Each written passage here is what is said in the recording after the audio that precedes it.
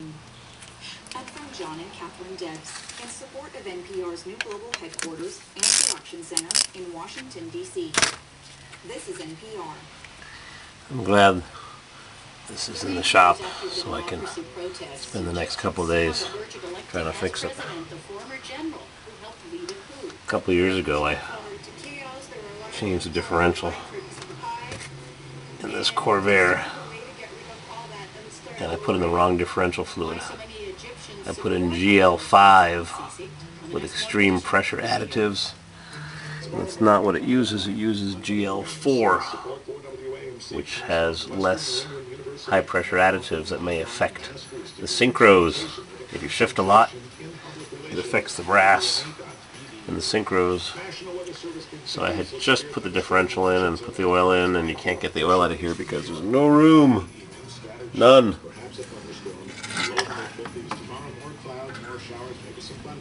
So I said, well, how am I going to get the differential oil out of this differential since there's a boss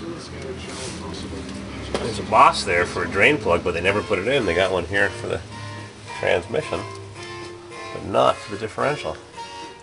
So I said, oh, wait a second here. I got a couple bolt holes that go most of the way through the case for the camber compensator. I'll just go all the way through with the drill. It took two seconds. Zing!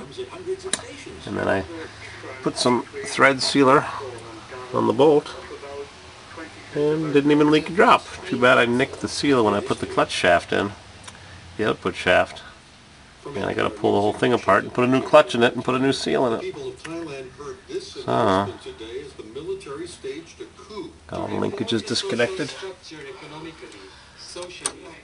Clutch rod, clutch pivot bolt, backup light wires, which never worked anyways, shifter.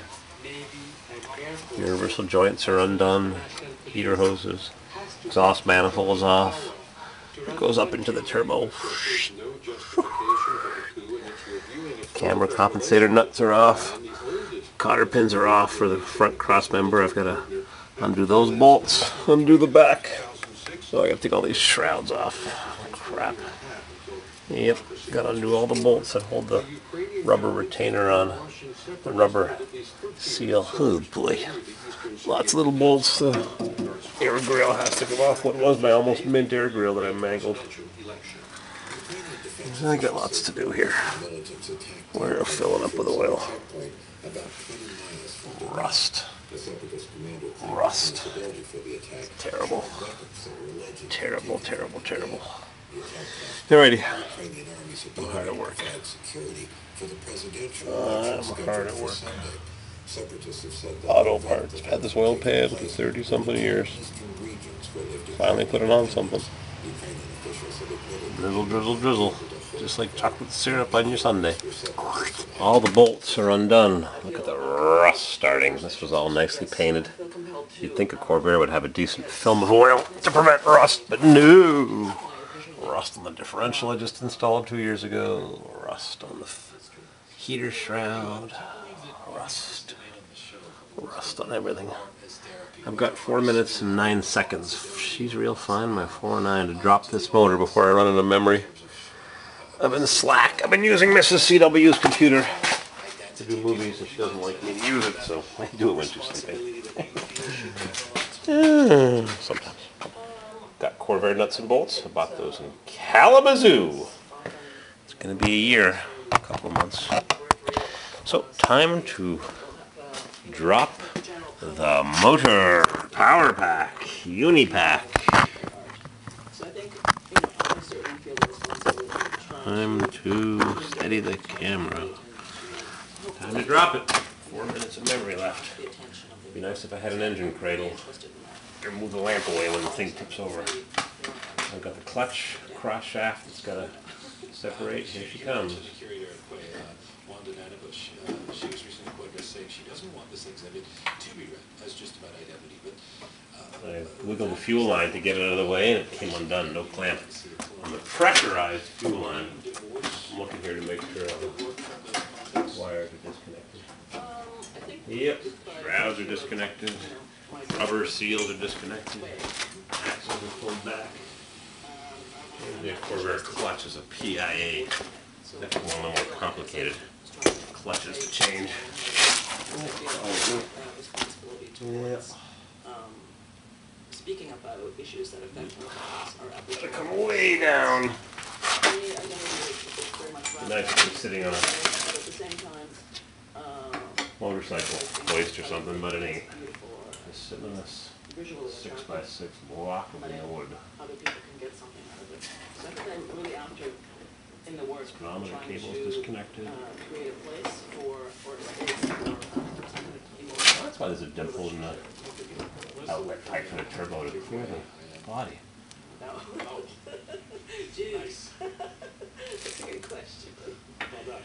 I, I, I mentioned, it's okay, I don't want to apologize to me. Yeah, I'm not Of saying course, the vehicle's up at an angle and the jack wants to come down straight, not at the same tilt as the vehicles. The vehicle's tilted like that, jack wants to come down like this.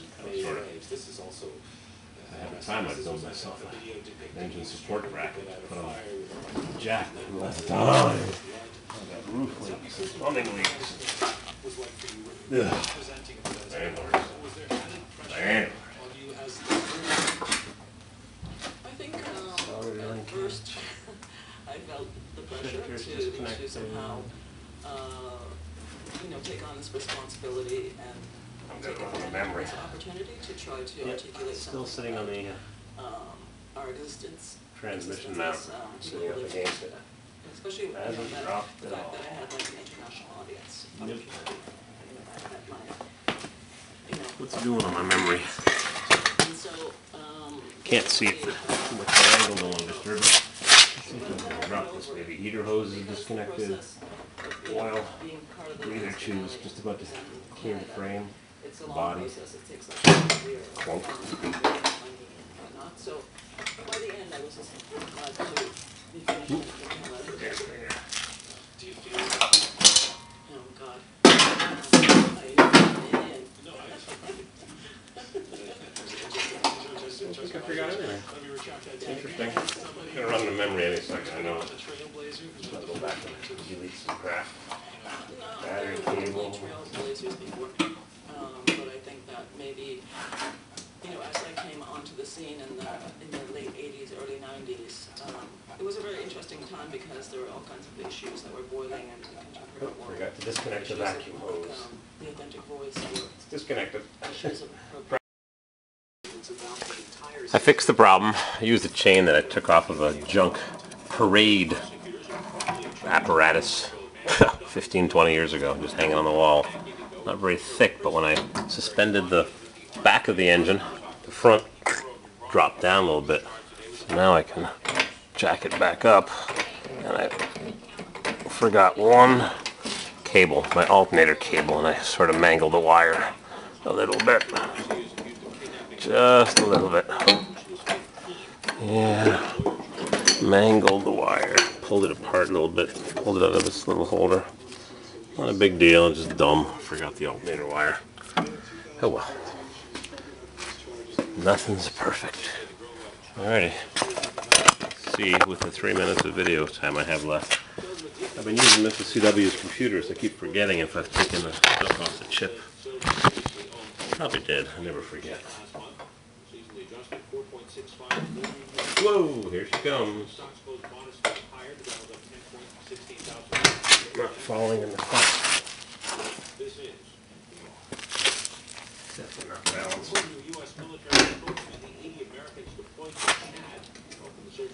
She's free. Swing around. From the Air Force, it's been saying military. Drop slowly. Keep it suspended. Back a little bit. Will slide backwards. Informed Congress about the operation earlier this week. This week, slide backwards and kill me. Coming down. Way too much weight. On the motor part. Motor's heavier than I remembered. Nice engine support frame would be real nice. Yeah, it's just stuck to the transmission. Whoop! Whoops! Heavy. Yeah. She'll be down in a second. Down. Phew. No crushed body parts. That's what we need, huh? need no injuries at my share over the years. Recording? Yeah. 37 seconds left. Whoop! Clunk! oh well. No harm done. Yeah, how not to remove your Corvair engine especially one that I paid so much money to have rebuilt. What we got left here? 15 seconds. Better take the jack out of there and let the wood cushion the blow on my nice shrouding. Yeah, yeah, that's how to remove your Corvair engine. Just let her rip. Plonk.